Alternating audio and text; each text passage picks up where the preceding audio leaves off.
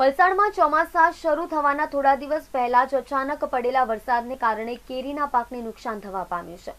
દક્ષિણ ગુજરાતમાં વાતાવરણમાં પલટા સાથે કેટલાક સ્થળોએ હળવાશથી ભારે વરસાદ તૂટી પડ્યો છે. ભારે પવન સાથે પડેલા વરસાદને કારણે આંબા ઉપરની કેરીઓ ખરી પડતા ખેડૂતોને નુકસાન થયું હતું.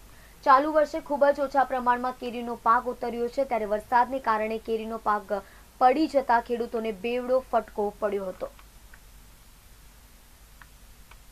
હાલના વાતાવરણ માટે મે મહિનાની એકવીસ કે ઓગણત્રીસ તારીખ સુધીમાં જે વાવાઝોડું આવ્યું કમોસમી વરસાદને તેમાં દસ ટકા કેરી પડી ગઈ વીસ ટકા કેરી હતી પાક. પાક પહેલેથી વીસ ટકા આવ્યો અને તેમાં પડી ગઈ દસ ટકા. હવે જે પાક તૈયાર થવાનો હતો, આ સાત પા- આ સાત છ સાત આઠ નવ ને દસ કેરી ઉતારવાનું ચાલુ છે પણ કેરી કાચી લાગે એટલે છોડી છોડીને પાડવું પડતું આજે રાત વહેલી સવારે વરસાદ આવ્યો અને પવન આવ્યો. તો ટીમાં બી પાંચ છ ટકા કેરી તો પડી ગઈ.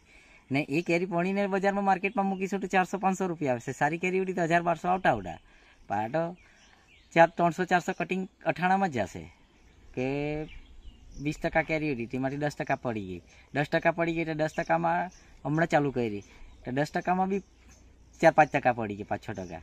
હવે સરકાર પર એટલી જ અપેક્ષા રાખે કે પેકેજ જાહેર કરે ને થોડું વોટર આપે. ઘણા ખેડૂતને તો ફૂટી છે જ નથી ને કેરી જ નથી આવી. ખર્ચ જ. અમારે થોડી ખર્ચ ફૂટી હતી. કેરી બેઠી, તેમાં બી આ પાંચ છ ટકા પડી ગઈ, સાત આઠ ટકા. એટલે દસ ટકામાંથી છ ટકા કેરી રહી. હવે આ વરસાદ કેટલા દિવસ આવે, કેટલા દિવસ રહી, એના પર હવામાન વિભાગ ચાલશે ગાડી